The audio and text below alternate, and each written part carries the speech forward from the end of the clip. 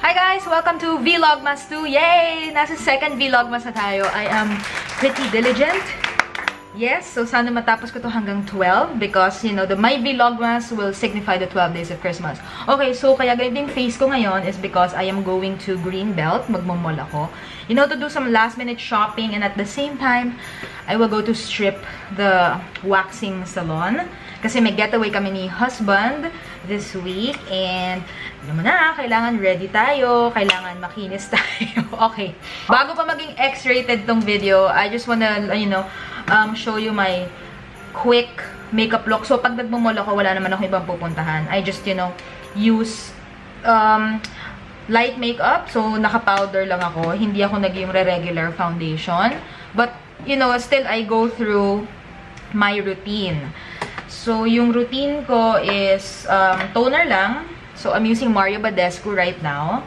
And then for uh, moisturizer, I'm using Ceraphil Oil-Free Moisturizing Lotion. This is really nice.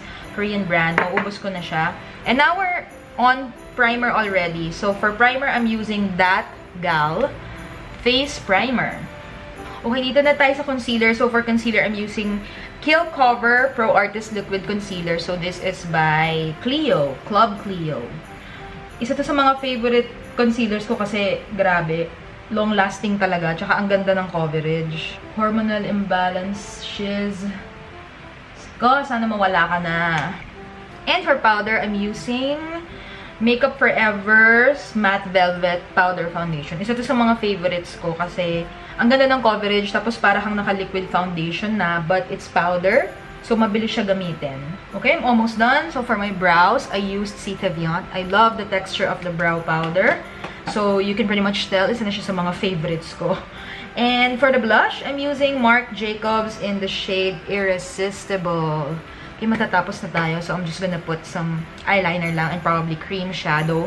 Cream shadow, I'm probably gonna use, um, ito si Nude Sticks kasi this is waterproof. And gusto ko lang yung parang may, you know, wash of sheen on my lids. And eyeliner. I don't feel like wearing mascara today. So, that's it. I'll see you guys later. Alright, I'm all dressed up. So, I'm just wearing this um, fancy, uh, what do you call this? Top. Tapos, meron lang siyang tail sa likod. I hope you can see it.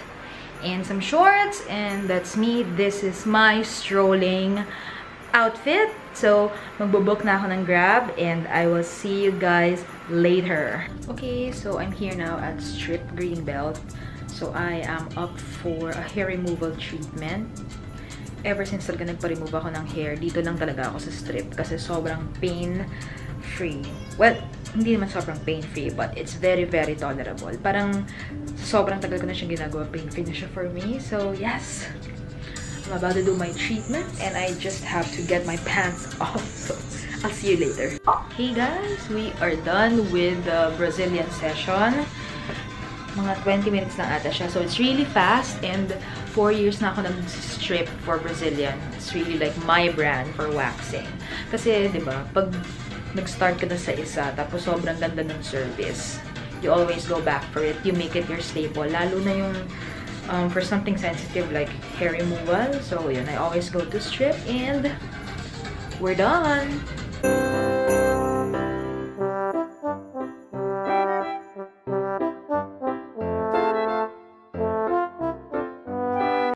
Alright guys, we are home now and I just did a bit of shopping. Basically, it's just me time today. So I went to Strip, had, you know, a hair removal session and I just went around, strolled around the mall and I also shopped some things for myself from H&M and, you know, um, additional gifts for my um, inaanak. Plus, you know, I just treated myself to a good dinner. So basically, it's me time today. Papakita ko lang quickly kung ano yung mga binili ko. Hindi, hindi man siya ganun kadami. As in, konti lang. First is H&M. Okay, so sa H&M, they're on a crazy sale. As in, parang Pasko, tapos parang halos naka-sale lahat ng stuff. But hey, you know, it's good for me and for everyone. So I got this skirt. So this is like, parang may pagka, ano, khaki yung material. And then meron siyang parang um, cloth belt sa um, middle. Tapos, ayan, perfect siya for shirts, for um, dressy tops, dressy occasions, kung ano-ano pang occasion. So, yeah. So, I think that from 1,000 plus, it's 900 na lang. I got myself a turtleneck. I don't know, I love turtlenecks lately. And thank God no siya uli. And then this one, this is not on sale, but this is 599 lang. And last but not the least, I don't know, it's just the geek in me. So, I got this. NASA! Yay! So, this is a sweatshirt. May pagka-loose yung fit niya. And this one is 5.99. This is not on sale also, but hey, I like it. I like NASA because, you know, I just like science stuff. So yeah, so the those are the things I bought for myself and then I just dropped by Landmark to pick up some stuff for my inaanak. But the thing with Landmark is, it's like, in the, the Divisoria Mall just because the prices are so cheap. Um, sobrang daming products from branded stuff to um, unbranded stuff, yung mga stuff na makikita mo sa Tiangge, nandun siya. So, sometimes, instead of going to Divisoria, nag, um, what you call this, landmark na lang ako kasi mura din naman doon. So, for my nanak, I just got him, you know, some Christmas outfit. So, I got him this Chino Bermuda because ang cute niya and then magbibinat bibinata na siya. He's 9 years old. And meron siyang kasamang belt. And then, I also got a polo to go along with it. So, this is a white polo.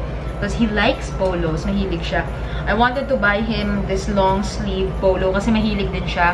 Pero parang walang masyadong magandang style. So, this one. This one is perfect.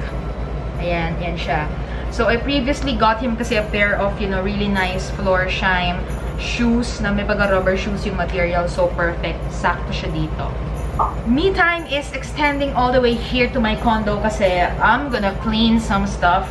Ma some of my, you know, makeup stuff and these are my brushes. So, ito siya. Sobrang dami. Lilinisin ko to ngayon. I hide here the stuff na I use for cleaning eh. Wait lang. Andito siya sa ilalim ng drawer ko.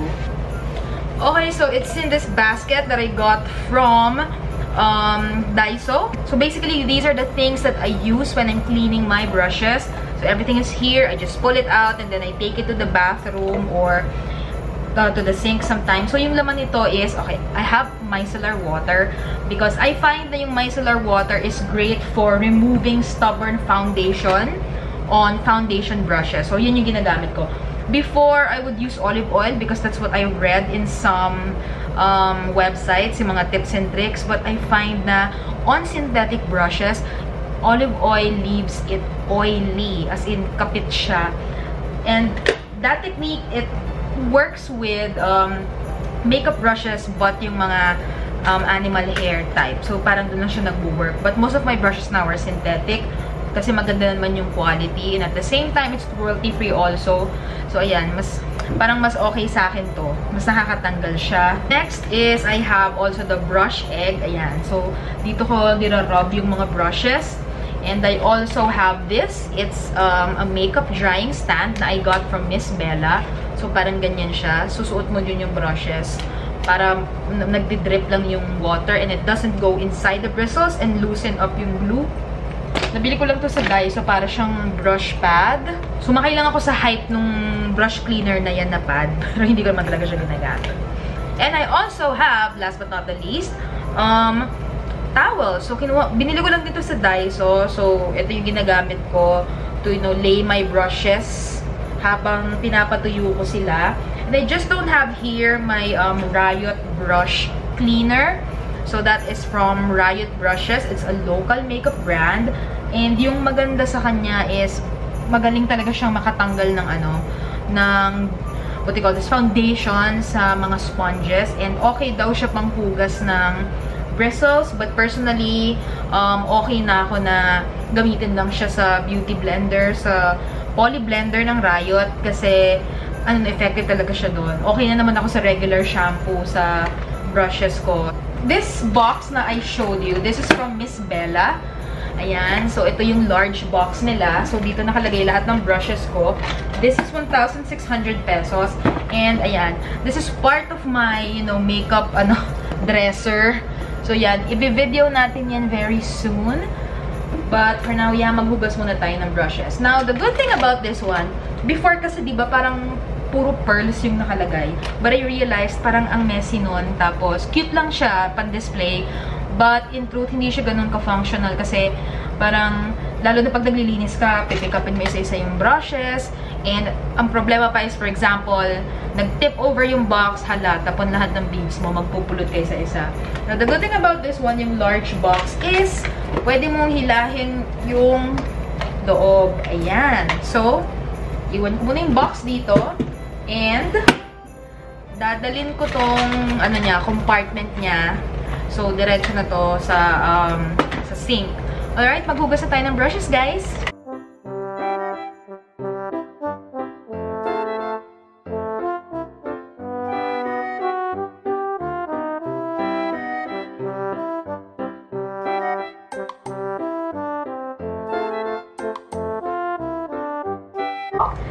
Okay guys, so I'm done cleaning my brushes. This is it.